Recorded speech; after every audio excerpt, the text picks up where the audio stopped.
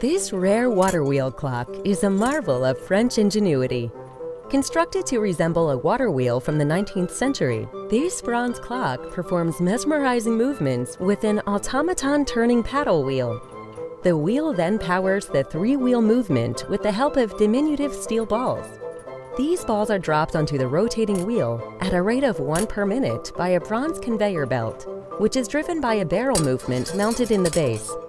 After a ball completes its rotation, it is guided back to the conveyor through a series of three ramps and begins its journey to the top once again.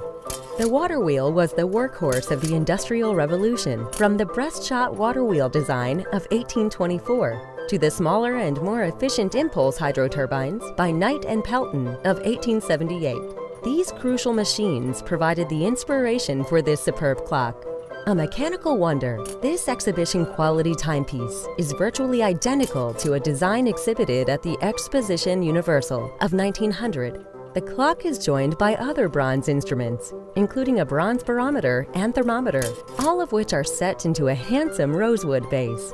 Industrial clocks incorporating precision timekeeping with a mechanically inspired automaton, excellent proportion, and superb craftsmanship represent the very best in clock design.